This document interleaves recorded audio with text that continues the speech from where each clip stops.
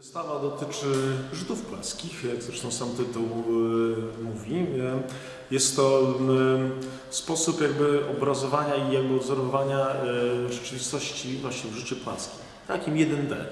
Nie ma tutaj zabawy ani perspektywą, ani wieloplanowością. Nie ma głębi ostrości, znaczy głębia ostrości jest jedna. Są to takie, no właściwie wielowymiarowość w jednym wymiarze. Nie?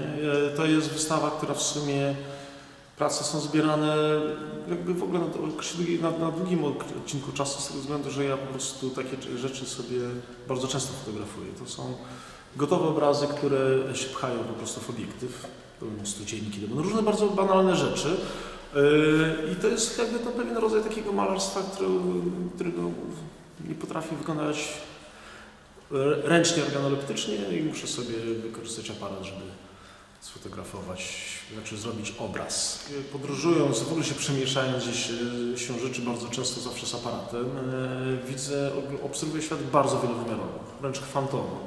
To są, e, no, jakby nie- idę polować na takie konkretne rzeczy. No, fotografując y, ludzi na bazarze, raptownie zobaczę, że y, odciśnięte stopy w śniegu robią pewien jakiś obraz i mi wszystko interesuje i one po prostu właśnie takie same, same się pchają. No mam pewne uwrażliwienie, że lubię takie, nie, bardzo lubię nieoczywistości, bardzo lubię jakby całą jakby sztukę taką abstrakcyjną, awangardową i one tak... y, no właśnie dlatego zwrócić uwagę, ale to jest bardzo, bardzo wielorakie, bo to mogą być właśnie ściana drzew, i to za- zakrawa jakby fotografię może powiedzmy krajobrazową, której jakby nie uskutecznia, a raptownie będzie podłoga właśnie orlika z dziwnymi liniami krzywymi i dla mnie już jest tam, tam jest po prostu obraz.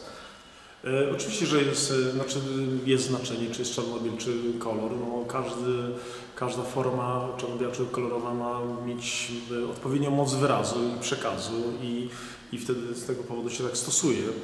Eee,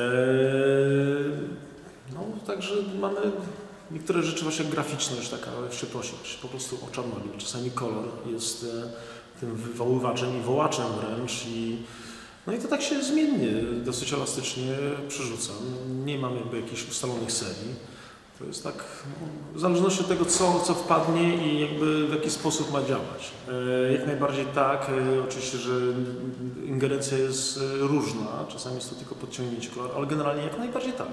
Znaczy mam to tak samo jak z muzyką. No, dla mnie jakby liczy się efekt końcowy, to w jaki sposób też do tego dojdziemy, to wybie- wybiera to twórca. I nie jest to dla mnie żadną, żadną przeszkodą. E, Od lat zresztą pracuję na programach graficznych, ale tu nie ma wielkiej, znaczy tak patrząc na swoje prace, tej ingerencji nie ma wcale dużo, ale jakby dla mnie to jakby jest no, jeden ze sposobów na dotarcie do celu.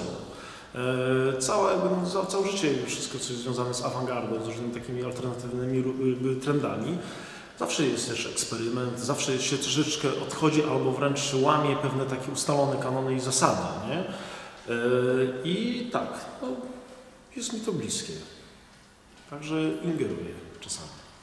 Delikatnie. Czyli Niektóre zdjęcia są, które powstały 15 lat temu, wygrzebałem w archiwum, ale jakieś ostatnio 8 lat, może tak orientacyjnie.